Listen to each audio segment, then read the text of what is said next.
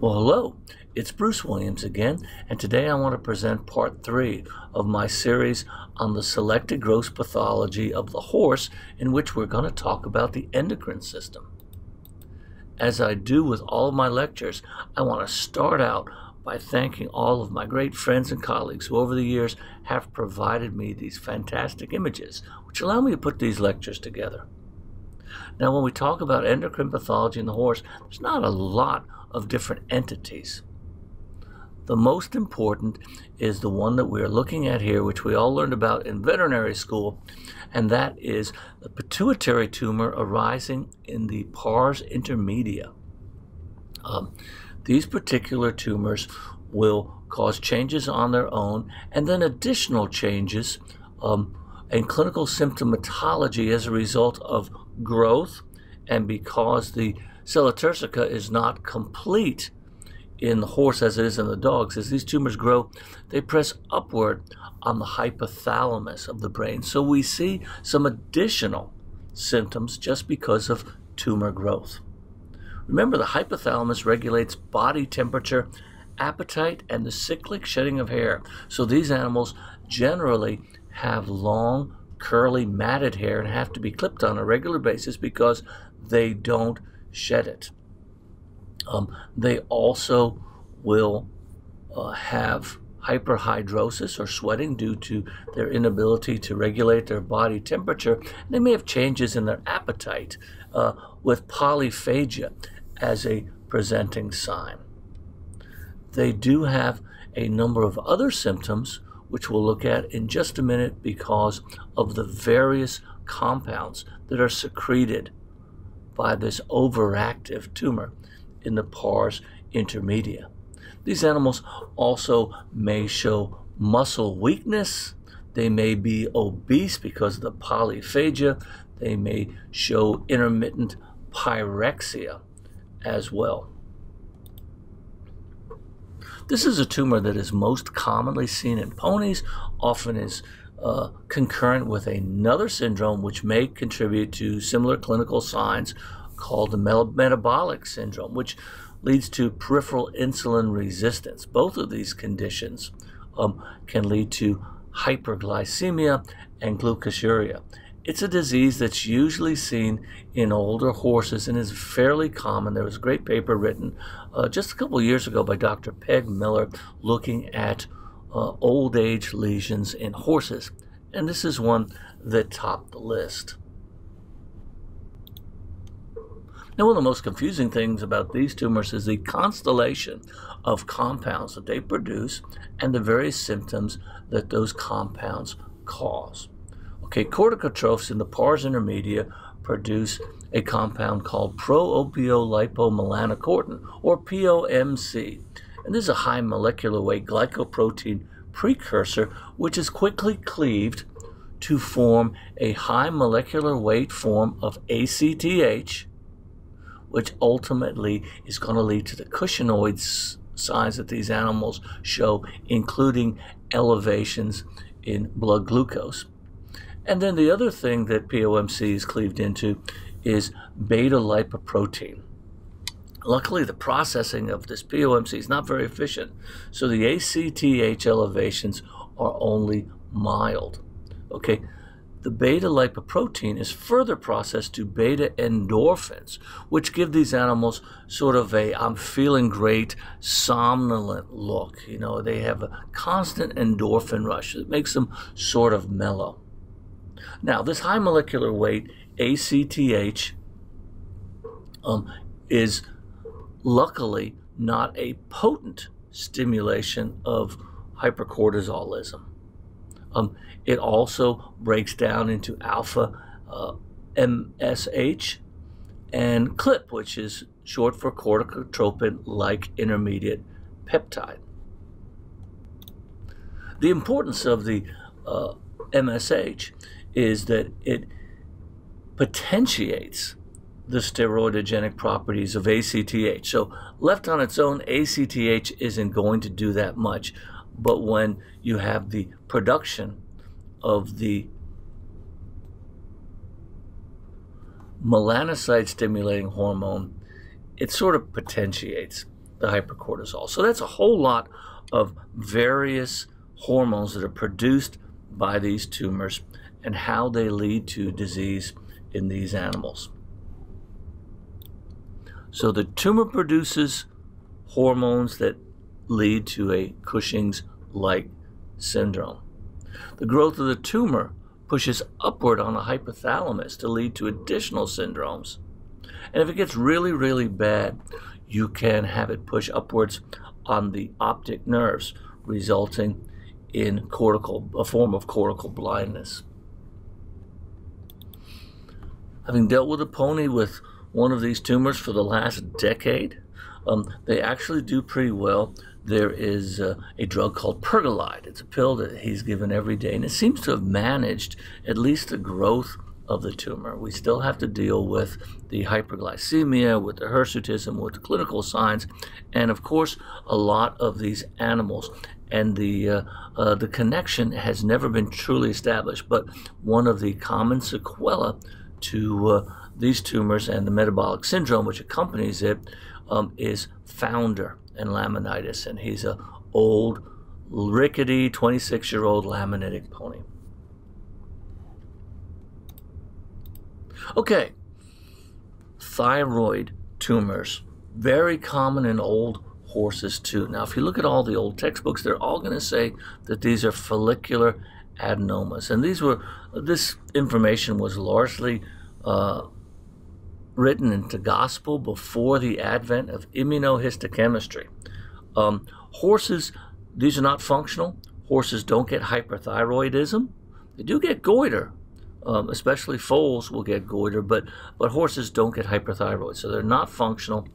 And our experience at the JPC and the experience of a lot of other pathologists is that, um, in contrast to what you see in a lot of the textbooks, um, these tend to be C cell tumors. Once again, they will get really large tumors, but they're never functional. Horses with these tumors are generally euthyroid and asymptomatic, and they're often incidental findings in necropsy of old horses. Adrenal glands.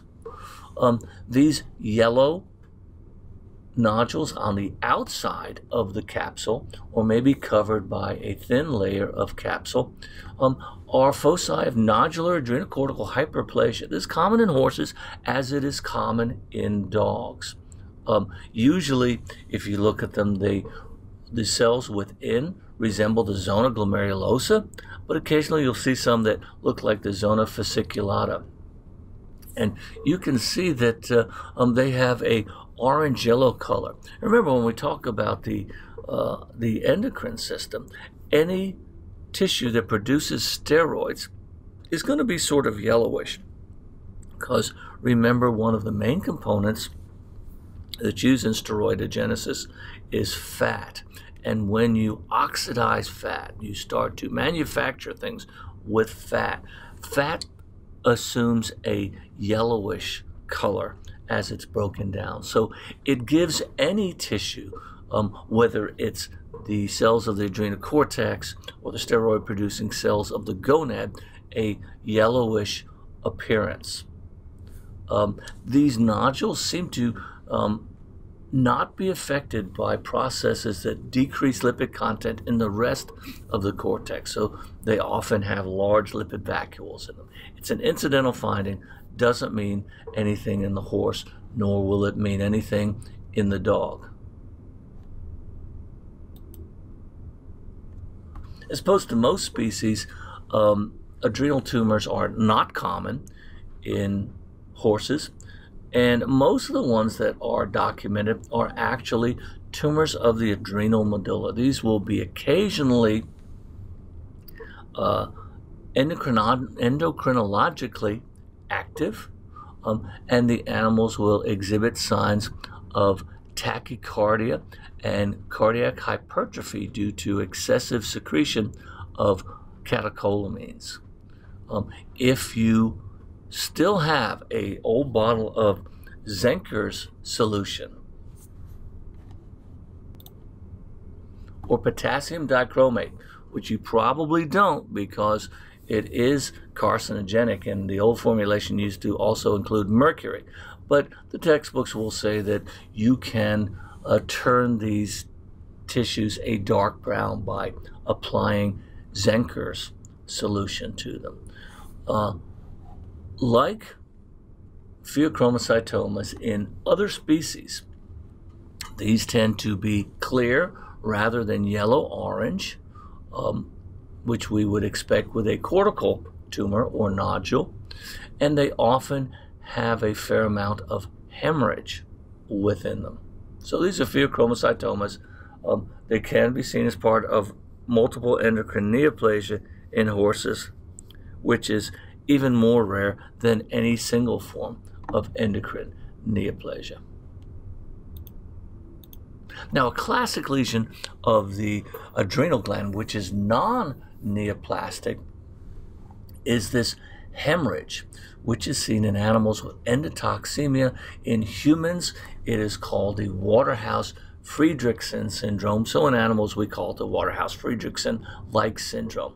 It's a sign of endotoxin, and one of the things that I always teach the, the new residents is that endotoxin whacks endothelium. Okay, much of the manifestation that we see with endotoxemia is due to its effects on the endothelium, exposure of underlying collagen, and thrombosis and necrosis. And that's what happens here. The uh, endothelium is damaged, you have cortical hemorrhage, and large areas of necrosis of the adrenal cortex.